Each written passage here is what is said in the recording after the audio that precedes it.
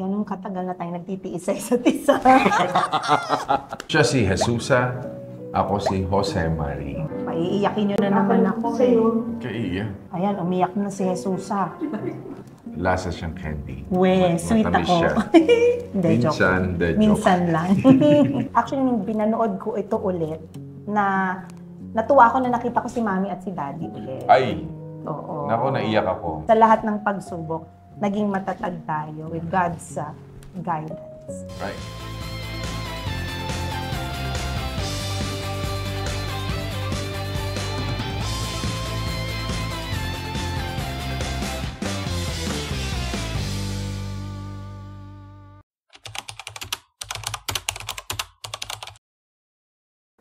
Susa, pumapayag ka ba na ikaw ay maging aking asawa?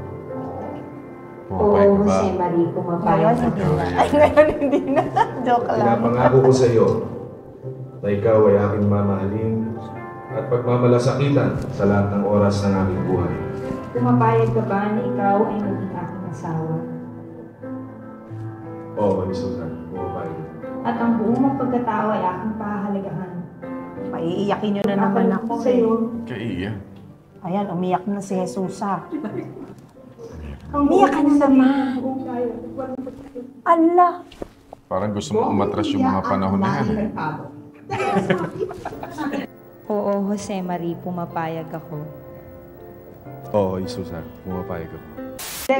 Bakit? Hindi ka ba nagsisi? Hindi, Papa. Marami nagtatanong, bakit Jose Marie, bakit Jesus? Ah, kasi nagtataka sila, di ba, Bong at Lani. Tapos biglang nung exchange vows natin noong 1998, ang ginagamit natin yung mga totoo nating pangalan. Di ba? Yeah. Uh, siya si Jesusa, ako si Jose Marie. Parang Jose Marie Chan ang Oh, dating. Jose Marie with an E siya. With an E. M-A-R-I-E. Ako, Jesus. Actually, without E. Ah, wala ba? M-A-R-I. Kita mo, hindi mo alam. Oh. Sa mo, hindi mo Eh, alam. kasi you were using. Bong Revillan as your real name. Oo. Ang, ang nickname niya, Candy. No po. Kasi ke, lasa siyang candy. We, Ma- sweet matamis ako. siya. Hindi, joke. Minsan, de joke. Minsan lang. Ang mga, yung exchange of vows na, na natin dyan, ipinagtulungan ng mga seminarista. Ah, si si Andrew Pacumio ng Towns Delight at saka si Juan Carlo ah, ng Juan Carlo Catering, mga dati silang seminarista. Humingi sila ng tulong dun sa mga pari ng Imos, which is the, kumbaga yan yung home parish, mother parish ng, ng Cavite, para mag-put up ng full Tagalog exchange of vows kasi centennial wedding. So, naging- Actually, siya yung punong abala. In short, siya yung punong abala yung centennial wedding anniversary namin, yung birthday ko nitong nakaraan. Siya talaga yung yung, yung, yung nagdetalye ng lahat. Pero alam mo ba, may, may ano, may trivia ako. Trivia. Noong 1998, March 25, buntis na ako dyan kay Ram. Ram, yung bunsong Bun kay Ram, si board member Ram. Pag siya, siya, hindi ko alam buntis ako. Nalaman ko na lang, I think, after after the celebration ng March 25. Siguro parang bilis ng panahon. Yes. Actually, bakit din nilabas ngayon yan? Mhm. Ah, nahalukay yung ito. Actually, nawawala itong uh, Then, actually, ito mananawagan na ho ako. Kung sino man ho ang Ah, may hawak nung album namin. Kasi nagkaroon ng special sa GMA 7, feature ito. Hindi ko na ho alam kung nasaan yung wedding album namin nung 1998. Kung si, kasi sa Ropers pa to, Ropers ang nag-cover. Sarado na ang Ropers. Wala na po si Kuya Charlie. Patay na po, sumalangit to. Sarado na rin ang. Ropers. Well, hindi na ho namin mahalungkat yung negatives kinas, nito. nung kinasal tayo ng 1998, kung tinignan ko yung video, ang dami ng sumakabilang buhay. Yes. Oh my God. si Senate President ah, Maceda. Maseda. Oo, si FDR, ninong ko. Si FPJ. FPJ. Wala rin. Yeah. Yeah, Mar- so... marami. Alam, nakikita mo, nandiyan pa, ang buo pa dyan, si, yung, nandiyan pa si Philip at Chris. Magkasama pa sila at that Mm. time. Yan, di ba? Si, ang wala na rin dyan, si Senator Elena Benitez. Si The Boy. Na, Si Rudy si Fernandez, Rudy, wala na rin. Well, Kung titingnan mo nga parang ah, bilis-bilis ng panahon.